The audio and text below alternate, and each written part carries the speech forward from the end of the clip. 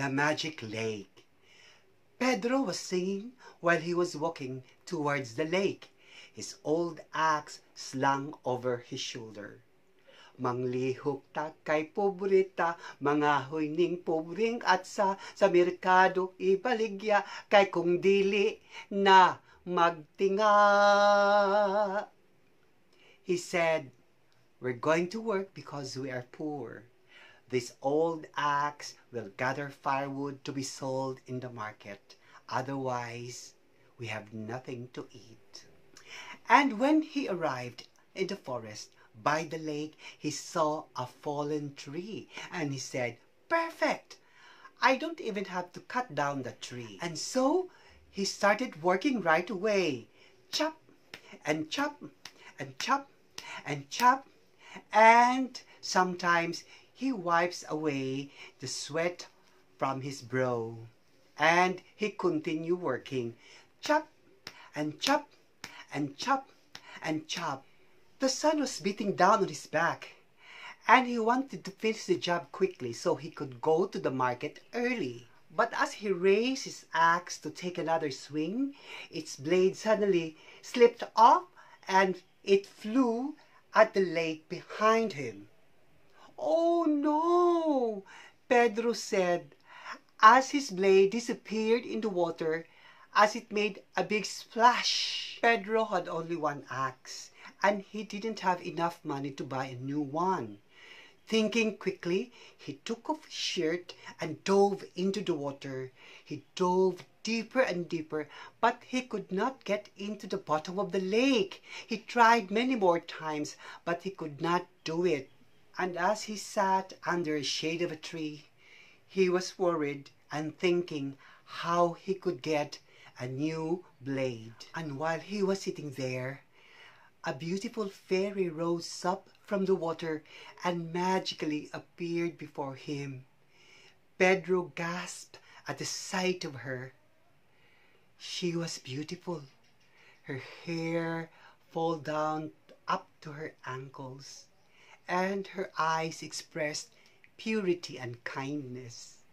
The fairy smiled and asked what happened, and Pedro stood up and quickly put back his shirt on, and he explained what just happened. And swiftly the fairy dove into the lake and when she emerged, she was holding an axe blade that shone brightly in the sun. It was made of pure silver. Is this the one? Pedro was thinking he could make a lot of money with that silver axe blade. But he shook his head and said, no, that's not my blade. And so the fairy dove into the lake again, and when she appeared, she was holding another axe blade that was also shining. It was made of pure gold. And then Pedro was thinking he could make a lot of money with that blade.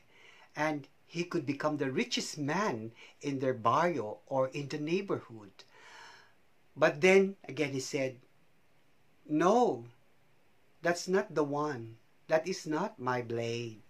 And so once again the fairy dove into the lake, and when she appeared, this time she was holding the old iron axe blade of Pedro. And she asked, Is this the one? And Pedro said, Yes, that's the one. And delighted, he took it from the fairy and said, Thank you very much. The fairy smiled and said, I admire your honesty, and because you are an honest man, I am going to give you these two blades, the silver and the gold one. Pedro's face brightened, and he said, Really? But those might belong to someone else. And the fairy said, No, I made these blades for you. Pedro thanked the fairy again, and he immediately went home and shared the good news to his wife. He said, We can sell them, and we can save the money for our children's schooling. The wife was so pleased and she shared the good news to their neighborhood. During the night, the news about Pedro was known all over the barrio. Even the children were talking about Pedro, the fairy, and the two axes, the silver and the gold. Everybody was happy for Pedro, except their neighbor Lito, because he thought he deserved the axes more than Pedro.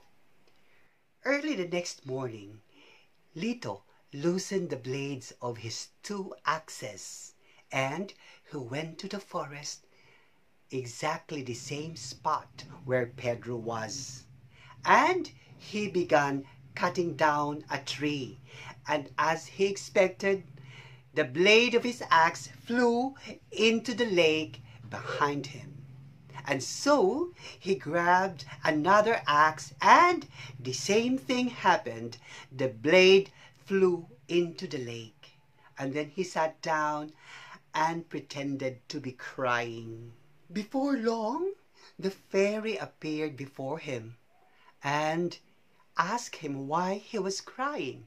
And Lito explained that his two blades were buried in the lake. And as he expected, the fairy dove into the lake. And then the fairy appeared first with a silver blade. And she asked, Is this yours? You found it! Lito pretended to be surprised.